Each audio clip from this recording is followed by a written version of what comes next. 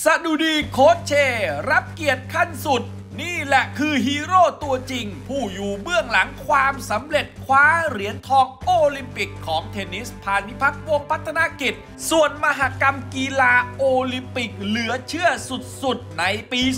2028 อาจไม่มีกีฬาที่แข่งต่อเนื่องกันมานานร้อยปี หลังจากที่วงในทะเลาะกันเองตกลงกันไม่ได้ตัดทิ้งไปเลย ส่วนตะลึงเอเชียกระหึมวีลีกญี่ปุ่นสองสาวนุกนิก นัทนิชาแนนทัดดาว เปิดตัวลุยลีกญี่ปุ่น มันแน่ทั้งหมดนี้ติดตามไม่ได้แตงโมลงเปียพงษ์ยิงครับ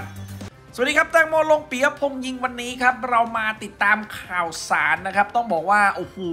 ร้อนแรงเหลือเกินนะครับ ในช่วงนี้เนี่ยกระหึ่มเอเชีย กระหึ่มบ้านเราเลยนะครับ ไม่ว่าจะเป็นเรื่องไหนก็แล้วแต่เนี่ยนะครับ ต้องบอกเลยครับว่าเราจะมาอัปเดตข่าวสารให้ทุกท่านได้ติดตามกันแบบรวดเร็วทันใจ แต่ก่อนอื่นเลย อย่าลืมนะครับกด subscribe กดกระดิ่งแจ้งเตือนจะได้ไม่พลาดทุกคลิปความเคลื่อนไหวนั่นเองนะครับ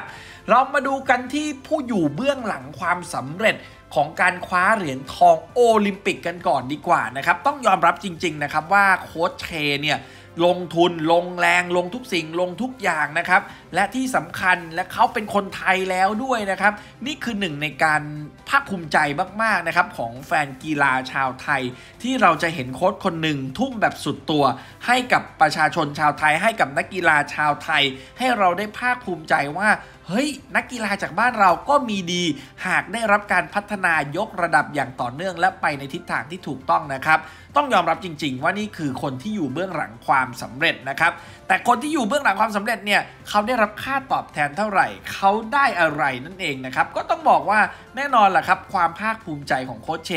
แน่นอนแหะครับว่านี่คือหนึ่งอย่างเลยนะครับที่โคชเชได้เปิดเผยออกมาว่าเหรียญโอลิมปิกคนนี้มันไม่เหมือนกับปีไหนๆครับ เพราะว่า ตอนนี้เนี่ยเขาเป็นคนไทยแล้วก็ทำให้คนไทยคว้าแชมป์โอ้โห มันเป็นเหรียญแรกเหรียญประวัติศาสตร์สำหรับเจ้าตัวเองนะครับที่ทำได้หลังจากที่เขากลายมาเป็นคนไทยแล้ว และตอนนี้นะครับน้องเทนนิสนะครับก็สร้างประวัติศาสตร์เป็นนักกีฬาทีมชาติไทยคนแรกที่ได้เหรียญกีฬาโอลิมปิก 3 สมัยติดต่อกัน และเป็นเหรียญทอง 2 สมัยซ้อนด้วย โอ้โหหลังจากเอาชนะโกชิงคู่ปรับจากจีนไป 2 ต่อ 1 ยกนะครับ ก็ต้องยอมรับจริงว่านี่คืออภินิหารนะครับของน้องเทนนิสนะฮะปิดฉากอย่างสมบูรณ์แบบนะครับ ในการแข่งขันรอบชิงเนี่ยนะครับต้องบอกว่าเทนนิสเนี่ยนะครับก็สามารถทำได้มาแล้วครั้งหนึ่งในปี 2020 ที่ญี่ปุ่นนะครับและคราวนี้ก็มาทำได้อีกในโอลิมปิกเกมส์ที่ปารีสนะครับซึ่งก่อนหน้านั้นเนี่ยต้องย้อนไปปี 2016แล้วครับทำได้ที่บราซิลนะครับแต่ทว่าเขาจะไม่สามารถมาอยู่ตรงนี้ได้เลย ถ้าหากว่าไม่มีโค้ชคนนี้นะครับที่ชื่อโค้ชเช ผู้อยู่เบื้องหลังความสำเร็จของน้องเทนนิสเขาก็ได้เปิดใจนะครับว่าภูมิใจสุดๆ เพราะว่าผมเป็นคนไทย และพาคนไทยไปคว้าเหรียญทองมาได้ คือซีนที่ผมชอบที่สุดคือซีนก้มกราบกันนะฮะในสนามซึ่งมันมันรูปนั้นมันไม่ต้องพูดอะไรเลยอะมันมันบ่งบอกทุกอย่างมันบอกในภาพภาพเดียวเลยนะครับคือตอนนี้เนี่ยโค้ชเชแน่นอนแหละครับในเมื่อเขามีผลงานก็ต้องมีเรื่องของค่าตอบแทน ทุกท่านลองดูนะครับว่าเป็นแบบไหนอย่างไรสำหรับเงินเดือนและค่าตอบแทนของโค้ชเชที่ได้รับนั้นตามหลักเกณฑ์ของกกทเนาะ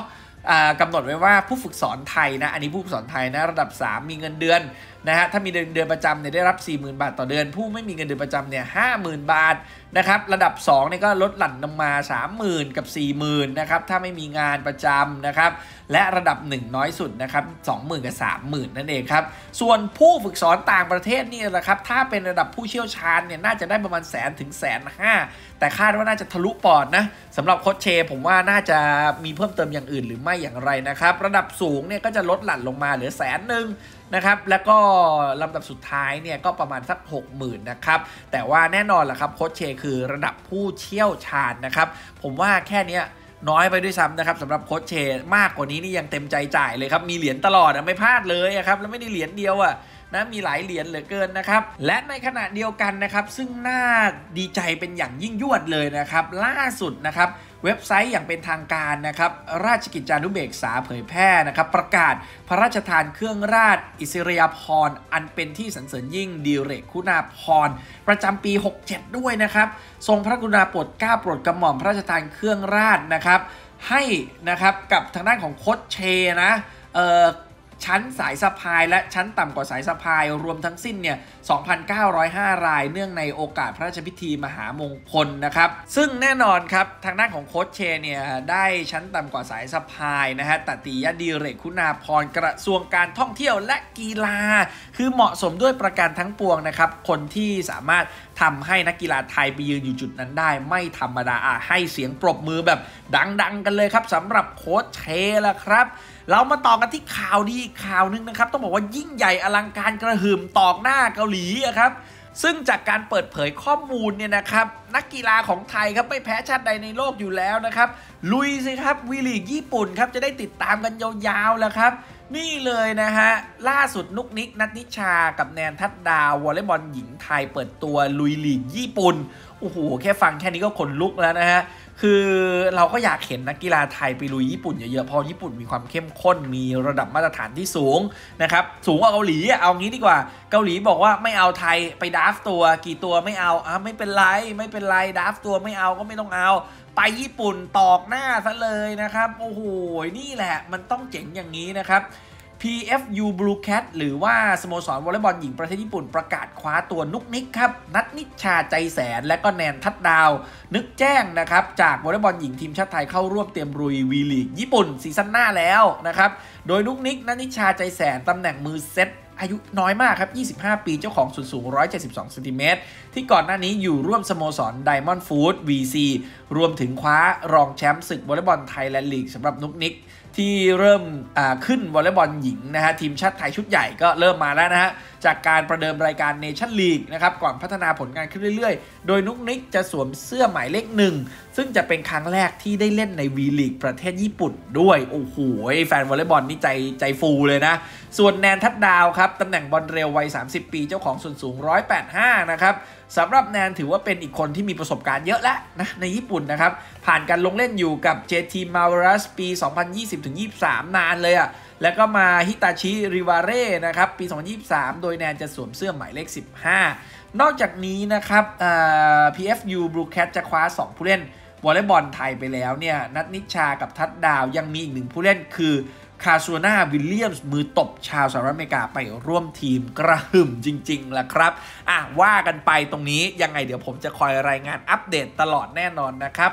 ในขณะเดียวกันนะครับมากันที่เรื่องของโอลิมปิกกันสักหน่อยปิดท้ายกันตรงนี้นะครับ มันเป็นอะไรที่น่าผิดหวังมากเลยเวลาคนข้างในหรือว่าวงในผู้ยงผู้ใหญ่อะไรเนี่ยทะเลาะกันเองสมาคมทะเลาะกันเอง แล้วมันส่งผลซวยครับต้องบอกว่างี้นักกีฬาไม่ได้เล่น คือโอลิมปิก 2028 ที่ลอสแอนเจลิสเนี่ย จะไม่มีมวยสากลสมัครเล่นมันเป็นไปได้ยังไงครับ นี่มันกีฬาระดับโลกนะครับ IBA IBA กับ IOC ทะเลาะกันเองอะพอทะเลาะกันเองมันก็ไม่จัดนะฮะ แล้วก็โอลิมปิกเขาก็ไม่โอเคนะครับ ผิดหวังเลยนะครับ เป็นครั้งแรกในรอบกว่าศตวรรษที่การแข่งขันมวยสากลไม่ได้ปรากฏในมหกรรมกีฬาโอลิมปิก 2028 นะครับ สาเหตุมาจากความขัดแย้งนะครับ ก็เป็นประเด็นอยู่นะครับ ว่าเรื่องการบริหารการจัดการเงิน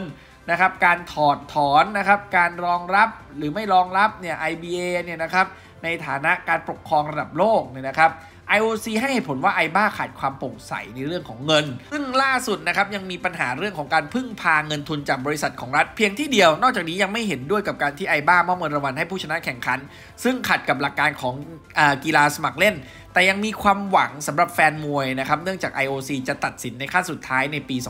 2025 หากมีการจัดตั้งองค์กรบริการบริหารใหม่ที่มีความน่าเชื่อถือ และเป็นไปตามมาตรฐานที่ IOC กำหนดมวยสากลก็อาจจะกลับมาอยู่ก็ได้ เพราะฉะนั้นก็ยังมีช่องทางอยู่แต่ว่าถ้าเป็นแบบนี้บอกได้เลยครับว่าจะไม่มีมวยสากลให้เราได้ดูในโอลิมปิก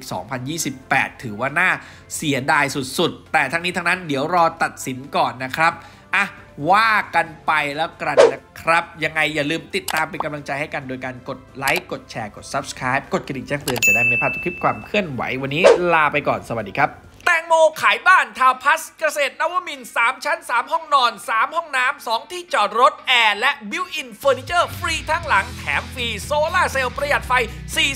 40-50%ต่อเดือนสนใจติดต่อ at tm score โทร 0959455635 ครับ